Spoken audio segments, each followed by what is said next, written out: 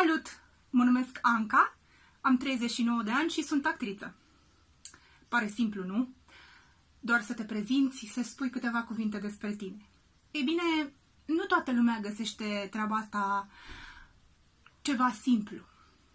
Um, eu lucrez uh, cu copiii în calitate de coordonator de cursuri de teatru pentru copii cam de 20 de ani.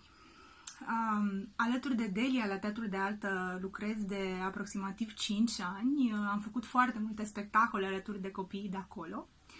Și propunerea asta de la Delia a venit într-un moment în care um, toți căutăm să, să ne schimbăm cumva, să ne adaptăm uh, situației uh, care este chiar acum. Um, Ideea noastră, de fapt ideea Deliei, a fost ca prin cursurile de teatru pentru copii, în comunitatea de români, să exersăm și să ne îmbunătățim abilitățile de a vorbi, bineînțeles, limba. Eu, în cariera mea de coordonator de cursuri de teatru pentru copii, de obicei, Uh, primul lucru pe care îl spun părinților atunci când își aduc copiii la cursul de teatru este că nu ne dorim să transformăm copiii în niște actori. Uh, ne dorim, îmi doresc eu, uh, în urma cursurilor pe care, pe care le vom face online, atât cât se va putea, bineînțeles, să exersăm limba română, să ne apropiem puțin și de Uh, românitate, de ceea ce înseamnă uh, a vorbi, dar și a gândi puțin în românește.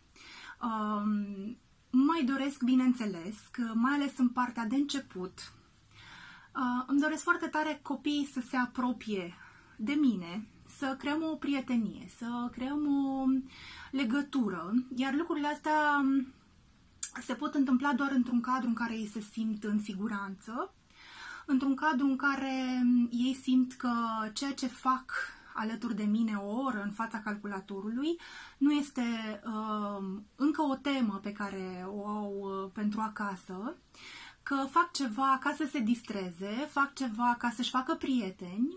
Uh, unii dintre ei, din câte am văzut, uh, să se revadă cu prietenii pe care nu-i pot uh, vedea acum la joacă și uh, în felul acesta, căpătând încredere în mine, uh, capătă și încredere în ei.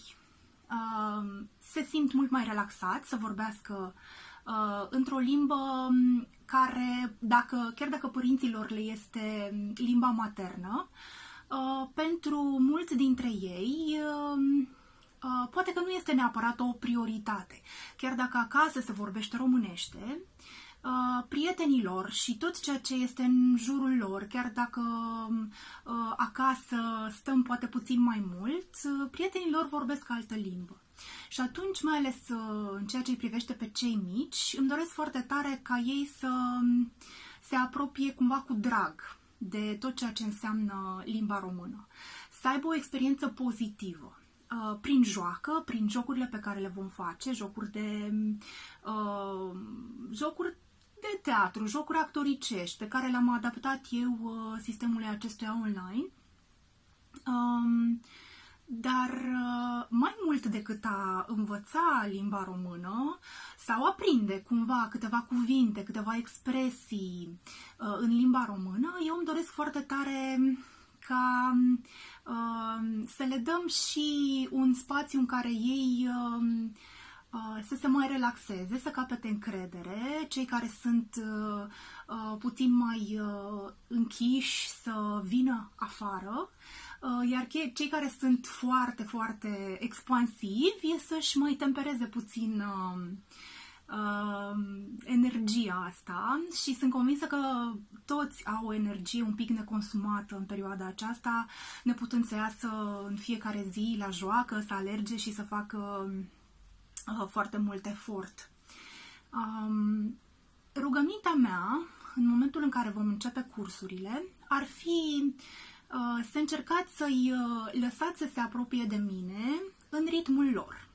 Uh, să încercăm să uh, le dăm puțin spațiu și chiar dacă ne dorim ca ei să vorbească românește, chiar dacă nu o fac în primă instanță, sunt convinsă că la un moment dat, exact cum s-a întâmplat și acum sâmbătă la cursul uh, demonstrativ, uh, la un moment dat ei uh, se vor apropia, vor încerca câteva cuvinte, vor vedea că nu este chiar atât de greu pe cât poate că și imaginau.